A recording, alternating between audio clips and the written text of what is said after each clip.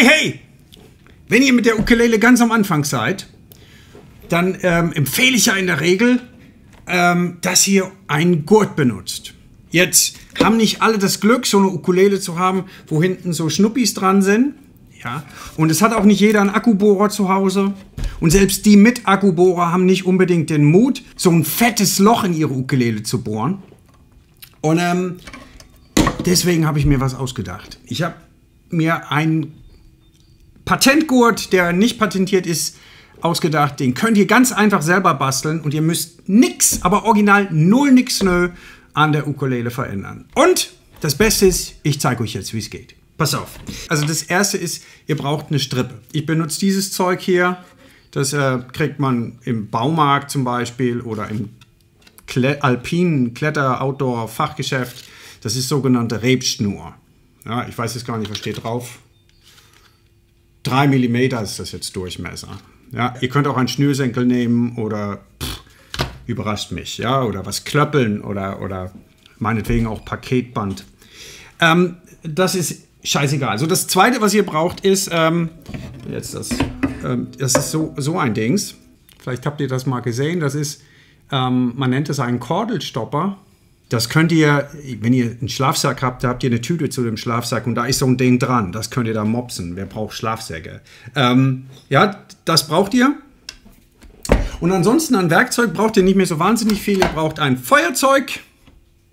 Lege ich mal dahin. Und dann braucht ihr noch eine Schere. Schere werdet ihr ja wohl haben, sowas. Ha? Schnippi, schnappi. So, das war auch schon alles. Ukulele lege ich mal beiseite, nicht, dass die zu Schaden kommt. Okay, Teil 1 ist, wir brauchen ein amtliches Stück Strippe. Und ich mache das immer erstmal so lang etwa. So etwa, dass das so doppelte Länge, doppelte, doppelte Länge von meinem Arm hat. Kann man natürlich auch geschickter machen, als ich jetzt. Man kann ja jetzt nicht alles können, ne? So doppelte Länge Arm. So. Ach komm, scheiß drauf. Machen wir irgendwie so Pi mal Daumen jetzt. So. Ah, das ist ein bisschen wenig vielleicht. Lieber ein bisschen mehr. Abschneiden kann man später immer noch. Also was ich persönlich jetzt mache, ist, wenn ich das abschneiden will, dann mache ich mir so eine Stelle mit dem Feuerzeug so ein bisschen schrumpfi. Das äh, schnuddel ich so ein bisschen an. So, seht ihr?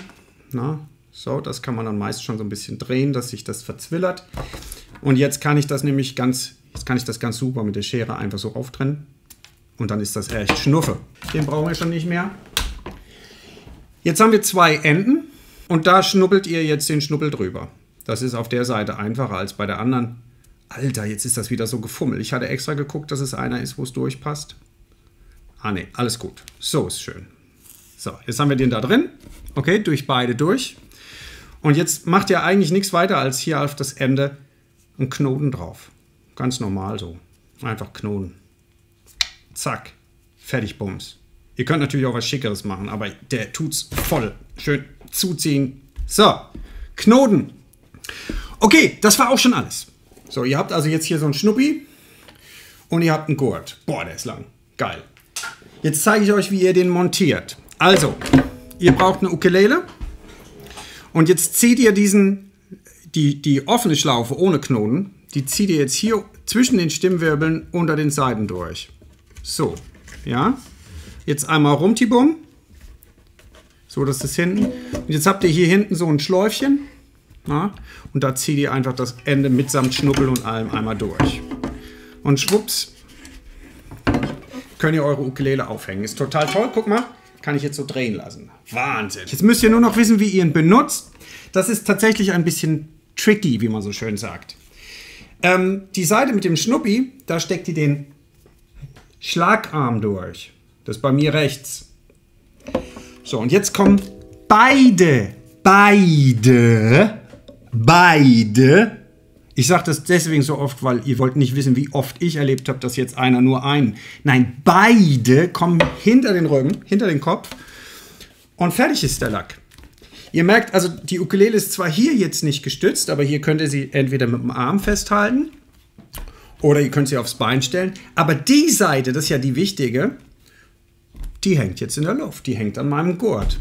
Jetzt fragt sich wahrscheinlich der ein oder andere, wozu ist der Schnuppi gut? Naja, logisch ist der Schnuppi dafür da, dass ihr die Länge von dem Gurt verstellen könnt. Na, wenn der jetzt beim Spielen hier so ein bisschen durchhängt, dann wisst ihr, ist zu lang. Dann nehmt ihr hier den Schnuppi und macht einfach ein bisschen kürzer. Was soll der Scheiß?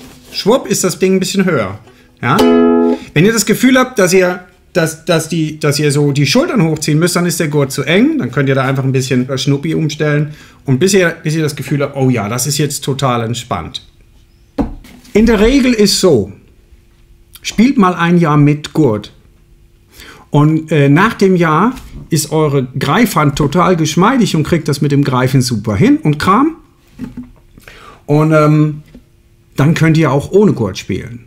Am Anfang ohne Gurt spielen, das führt in der Regel dazu, dass man so eine scheiß Handhaltung hat, weil man ja die ganze Zeit den Hals hält.